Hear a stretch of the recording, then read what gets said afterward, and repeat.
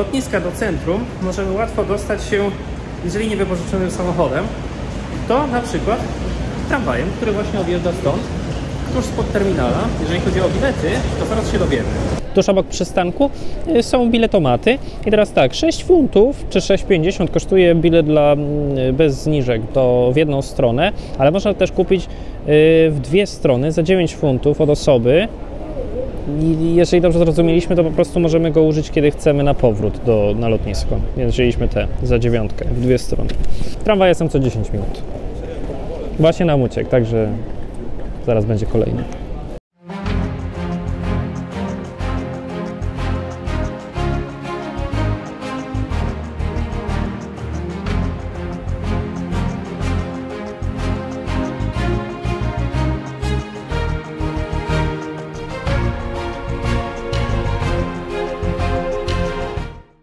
The Scotch Whisky Experience, więc idziemy doświadczać przygody po Muzeum Whisky.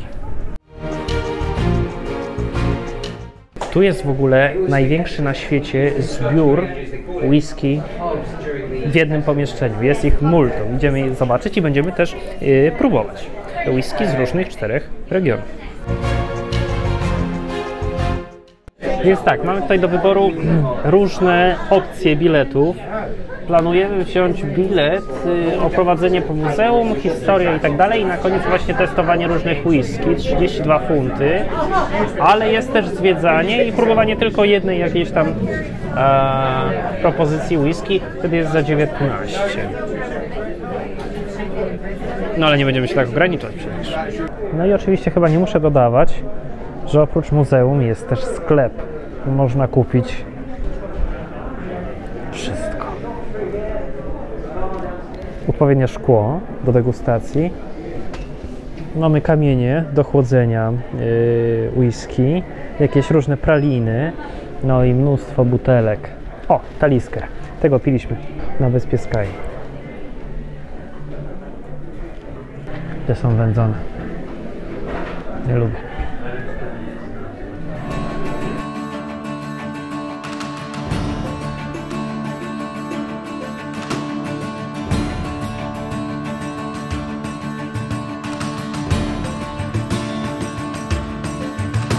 A tutaj z kolei jest fantastyczny, interaktywny przewodnik. Na tym kole mamy e, regiony Speyside, e, Highlands e, pod każdym regionem. Mamy konkretne whisky. Jak wciśniemy jakiś przycisk, to nam się wyświetla tutaj, jaki to jest aromat. Czy jest spicy, w sensie no, jest jakaś pieprzna, prawda? Czy jakieś suszone owoce, czy może miodowe, czy może smoki, prawda? Te torfowe whisky. No to, to byśmy wzięli, z, jak weźmiemy z, z tego regionu, na przykład Lafroig, to powinno nam się zaświecić gdzieś tam, zgaduję. O, jest tam. Smoki, ona jest naprawdę jak smoła. Dobra, słuchajcie, idziemy, bo zaraz mamy wejście na zwiedzanie i prawdopodobnie będziemy jechać beczką.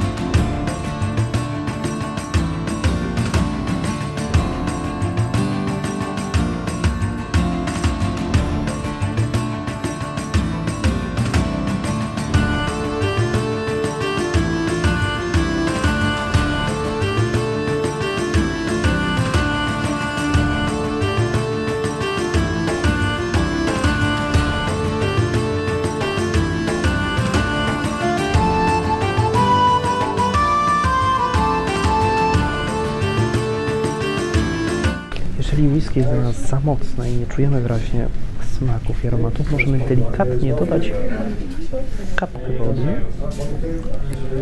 I nie jest to zbrodnia, absolutnie. I wtedy whisky staje się delikatniejsza i możemy lepiej wyczuć jej aromat. Ja wybrałem whisky e, z rejonu Speyside więc generalnie, e, jeżeli mamy bilecik podstawowy, to wybieramy jeden z regionów i dostajemy porcję degustacyjną. Natomiast jeżeli wykupiliśmy bilecik e, premium, nazwijmy to, dostajemy e, później jeszcze whisky z pozostałych regionów, których nie wybraliśmy na początku.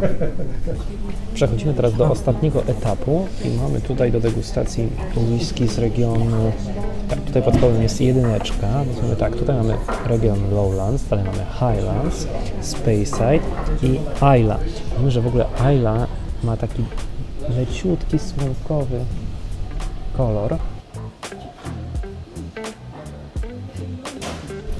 No i jest wędzona torfem. Z tego słynie zresztą whisky z tego regionu.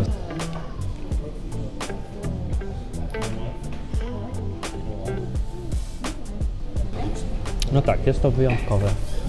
Wyjątkowe i niepowtarzalne, zdecydowanie. Dobra, teraz przechodzimy do regionu Highlands.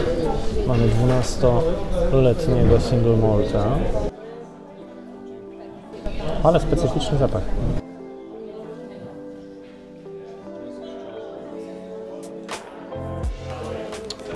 Niby na nosie nuty miodowe i skórka cytrynowa,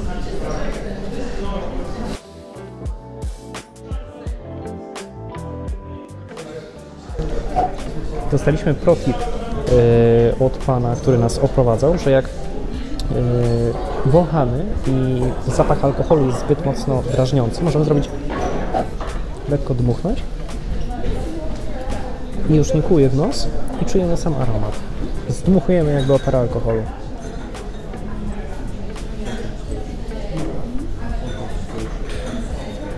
O tak. Czuć takie nuty tutaj miodowo-karmelowe. Jest dużo bardziej łagodna i delikatna niż e, pozostałe, które próbowaliśmy. Znacznie bardziej przyswajalna. Spróbujmy teraz tej z również single malt 12-letni. E, powinna z definicji regionu być e, słodkawo, owocowa wręcz.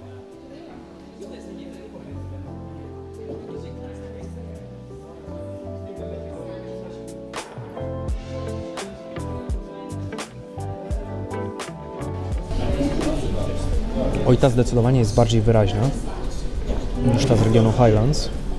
Jest bardziej pieprzna. Czuć takie... Mhm. Czuć, że jest spicy. Mhm.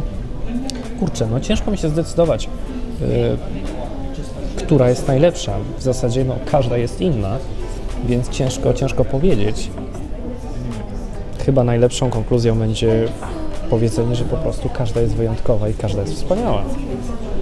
A tutaj też mówią, że też każda okazja jest wspaniała, żeby pić whisky. Warto jeszcze wspomnieć, że na koniec dostajemy tekturowe pudełeczko, w którym możemy schować kieliszek degustacyjny, który używaliśmy uprzednio i dostajemy go w gratisie jako pamiątkę.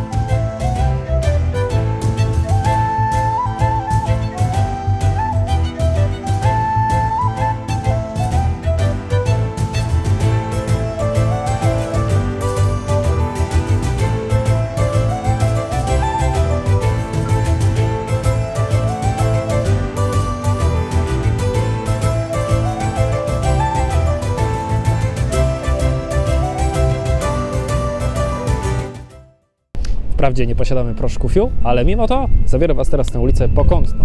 Tak, za tym budynkiem znajduje się uliczka, którą inspirowała się Rowling pisząc Harry'ego Pottera, a konkretniej rzecz ujmując jest to Victoria Street w Edynburgu.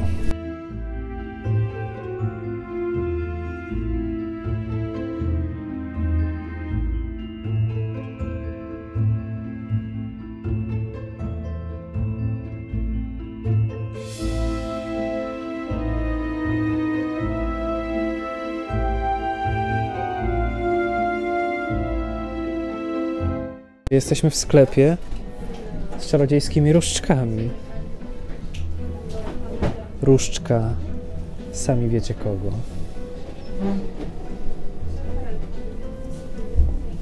Szkoda, że nie ma ceny. Ile to może kosztować? O, chyba są fasolki o wszystkich smakach. Jejku, słuchajcie, tu jest tu jest normalnie kilka pięter z gadżetami z Harry'ego Pottera. Nawet można kupić tierę przydziału.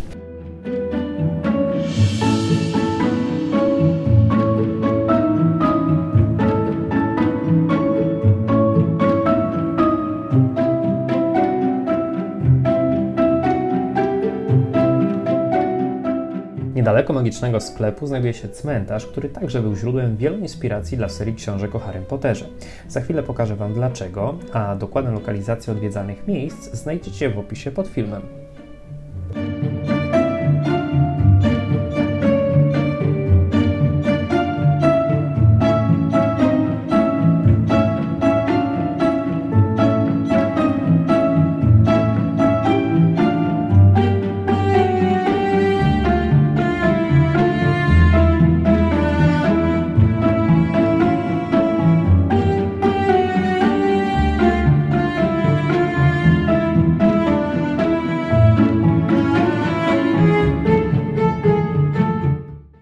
Na sam koniec zamówiliśmy topowe danie, czyli haggis, nips and tatis, czyli haggis podany z brukwią yy, i pire ziemniaczanym, ale i to generalnie w sosie pieprzowym.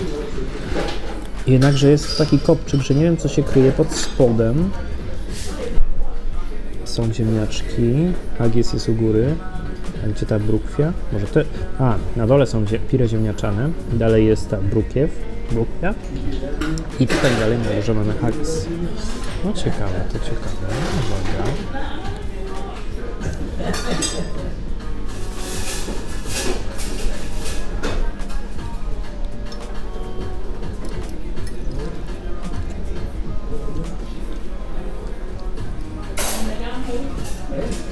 Sos jest pieprzny. Sos jest pieprzny. Ale kompozycja taka zapychająca. Zapychające danie. Powiem szczerze, że ten yy, jako przystawka sam haggis yy, w tym rondelku był lepszy, bo był haggis haggis, a tutaj mamy haggis przykryty mnóstwem innych dodatków. Ale warto spróbować, no bo lokalne danie. I tym akcentem pora zakończyć dzisiejszy odcinek, a tym samym zakończyć serię o Szkocji. Jeżeli jednak nie widzieliście poprzednich odcinków z tej wyprawy, gorąco zachęcam do obejrzenia tej playlisty. W dzisiejszym odcinku to wszystko. Dziękuję za uwagę i do zobaczenia w kolejnych filmach.